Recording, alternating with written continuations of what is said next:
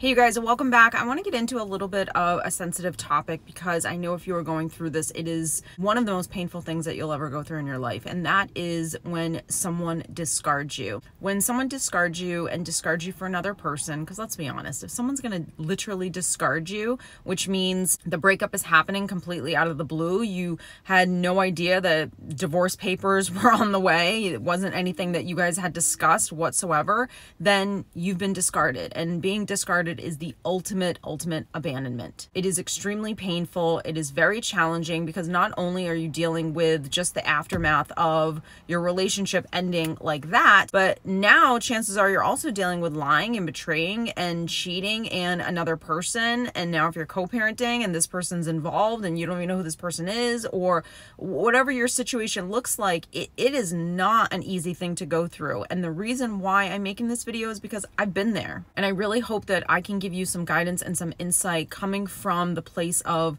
having gone through exactly what and have felt exactly what you're feeling right now chances are there is a roller coaster of emotion that is happening right now. You this is definitely not the first video that you've seen. You have googled, you stayed up late at night watching videos on narcissism, on discards, on the other person, on this on that person, your ex, on you, and you're learning so much about so many different aspects and on one hand, it can be very validating and helpful, and on the other hand, it can be very consuming and you can become very obsessed with wanting to learn everything because it's giving you some sense of relief. It's giving you a little bit of an understanding as to the type of relationship that you're actually in. Now, all of that is educational and logical, and while it does help you to start processing things, it doesn't always help your heart. I have said this for years. I say it in so many videos, and sometimes I just have to repeat myself because there's just no way around this other than just like stating this and making sure that you fully understand this. A discard is actually the ultimate compliment. That means that on some level, and doesn't matter how weak or codependent you thought you were in that relationship, there was something about you, there was some kind of standard that you had, there was something that you expected from this person that they just weren't able to give you, and that's why you got discarded. The only time a discard happens is when that person, you can call them narcissistic, you can call them unhealthy, you can just call them the other person who really cares is not getting what they want in the relationship. And maybe what they wanted was something that you were not able to provide to them. And that's okay.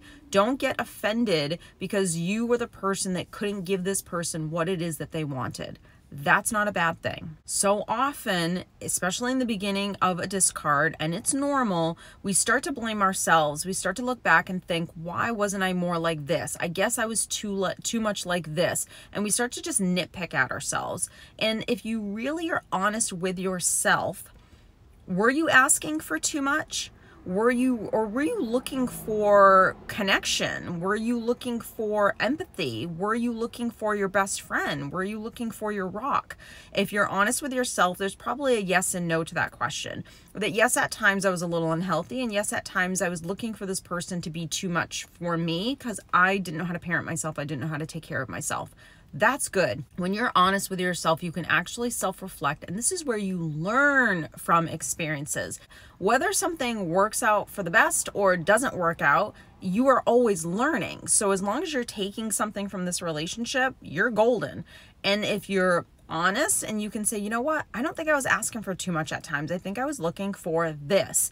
And you don't want to lose that. That's called your standards. And if anything, your standards are probably should have been a little bit higher because if they were a little bit higher, you probably wouldn't even have attracted this person to begin with. When we talk about narcissistic personality disorder, more specifically, we're talking about a person who, and you guys know, you've Googled the definition, you've watched the videos, but is very much self absorbed. They have this level of self importance Mm-hmm. they all that matters is what they can get out of the situation. You're dealing with actually a very insecure person but they can just mask it with this like charming exterior. Maybe they're very sociable. Maybe they're not but they have something about them that makes them likable to the outside until you actually really get to know this person. Then you start to see really closely that this person's actually not healthy. Now by the time you really saw that this person is not healthy was when you were already already emotionally invested in the relationship. Now it's even harder to leave a relationship because maybe now you're living together, you've been together for years, you started to share a life together.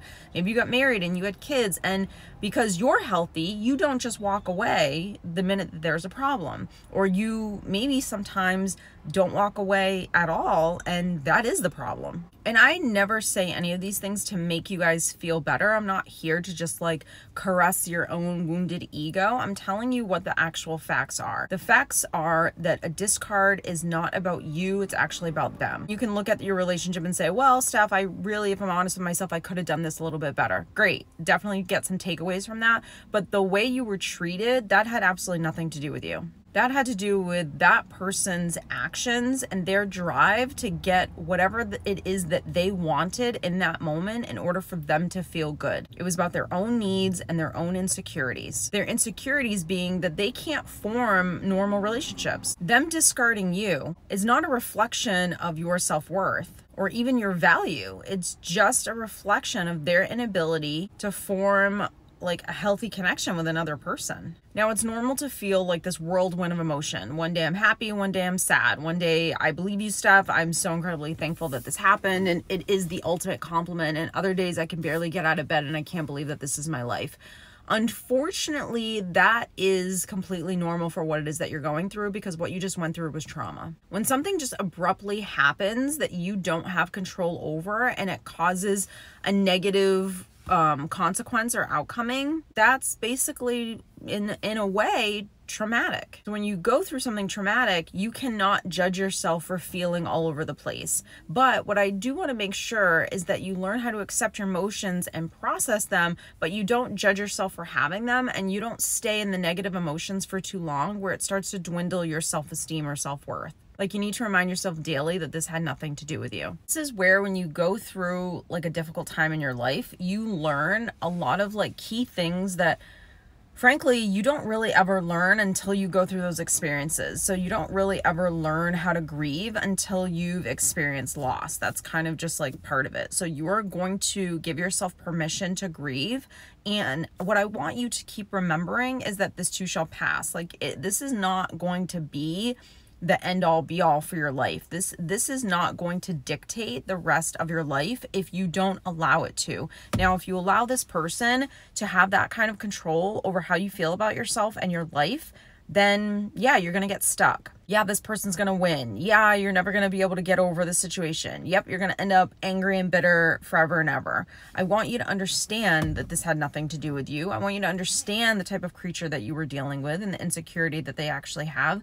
I want you to also be able to start cultivating your self worth by reminding yourself and your self esteem, by reminding yourself that you didn't deserve any of this, that none of this had to do with you not being a good partner, you not being more attractive, or not giving giving this person what it is that they needed. You didn't want to give them what they needed. You were not a doormat. You did not want to always conform, and that's why they moved on. You have to always be reminding yourself of who you are. I had to constantly remind myself that I was a good person. I had to come from both like the nurturing side and I also had to give myself a little bit of motivation and tough love. The nurturing side was that I was a good person. I had to always be reminding myself of that that I didn't deserve this. I had to allow myself to feel what I needed to feel and give myself that validation without any shame or judgment. I also had to remind myself quite frankly that I'm a badass. Like no, this is not okay. And I think you need a balance of those two things. You have to be able to say, I'm a good person, I didn't deserve this, and you're not healthy. This isn't okay. This isn't normal behavior for a relationship. And you also have to remind yourself of who you are and that you're very strong and that you're capable and that this is a challenge in your life that you're going through. And maybe you didn't ask for it, but you will gain huge amounts of insight from having gone through this. And for me, that was the ultimate goal is that I didn't ever want to have to go through a really painful time in my life and not come out the other side being a different person, being a healthy person, learning something from this experience, learning something about people, learning about something about myself. So when you want to sit there and think about all the things that you did wrong in the relationship and how you weren't this and how you weren't that, you can be honest with yourself and say, look, if I'm really honest, I could have done some things a little bit better in that relationship. Great. those are the things that you get to work on for your next relationship. And all the things that you know I put up with and I shouldn't have put up with put up with, these are the opportunities for you to rise up and really start owning it. This is where you actually get to start again. That's a huge gift don't look at it like, oh, great, I'm on my second or third divorce, or oh, great, I'm going through a divorce, or oh, great, what is everyone going to think? No one cares. This is your life. This is about your happiness, and you have an opportunity right now to actually get better, to get more than what you had before because what you had before you probably would have settled and stayed and dealt with had this not had happened to you i know that was the case for me i probably would have stayed i would have overlooked the cheating and maybe not overlooked it but I definitely would have worked through it because I don't want to just throw in the towel because a mistake happened or someone's trying to whatever work through their own stuff. I'm very understanding and I'm very loyal, but I didn't want to be loyal to a fault anymore and I didn't want someone to be taking advantage of me. So I looked at it like as much as I didn't ask for this, sometimes that's the blessing. Look, I know that this is a challenging time. I know that there are moments when you watch videos like this and you feel like hopeful and inspired and you're like, you're right, Steph, and I'm to listen to this over and over again. And I'm telling you, you have to you have to listen to these messages over and over again because at any point during the day it's very easy for your mind for your wounds for your insecurities to take over drag you down a rabbit hole and make you feel nervous for the future. And we are not here to be nervous for the future. We are not here to let this situation completely ruin our life and make us bitter make us angry. No we're actually going to get better. So that is the goal is to get better from the situation get better within ourselves and create a better life than we even thought we wanted. Like, I can't even tell you the life that I have right now. And look, nothing is perfect. So I don't want to like create this facade of like, oh my God, once you rebuild and you heal, finally, you're going to get everything. Like, look, you're still human and you're going to go through a human experience. So you're going to have challenges still, you're still going to have fears and all of those things but you're learning how to actually deal with life and not just suppress how you feel, not just ignore,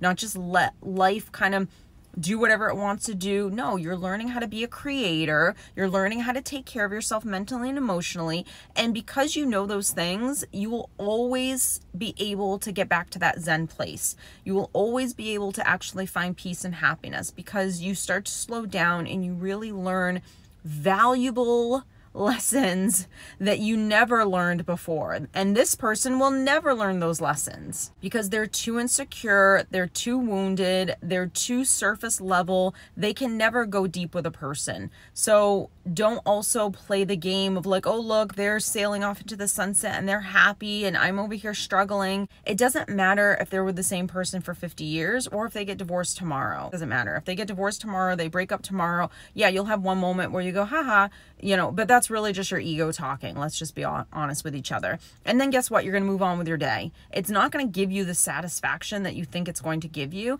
And if this person is with with the person that they discarded you for for the rest of their life, that stinks. That stinks for that person. That means that that person has absolutely no idea the type of relationship that they're in. You just need to move on with your life and create the life that you want. The relationship that I have right now, the life that I have right now, the peace that I have right now, the even when I am going through a difficult time, just the fact that I know how to take care of myself now on a level that I didn't before, I would take all of these things. I first off, I would have never foreseen that this would be my life. And and I think sometimes that's the blessing.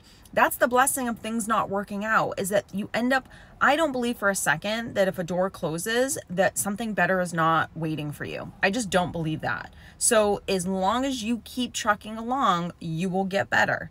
If you decide that this door was the door and you're the victim and all of those things, then you're not going to get better because you're not looking for better. And this video and this channel and what I do and everything on social media that I put out there is about making sure that you understand that the way life works is that there's a better door. So I hope you guys enjoyed today's video. I hope it gave you the insight, the motivation, the guidance. Please watch it over and over again. If you need me at 2 in the morning, just find me on YouTube and hit this video. So I hope you guys are well. I'll see you in next week's video. Bye.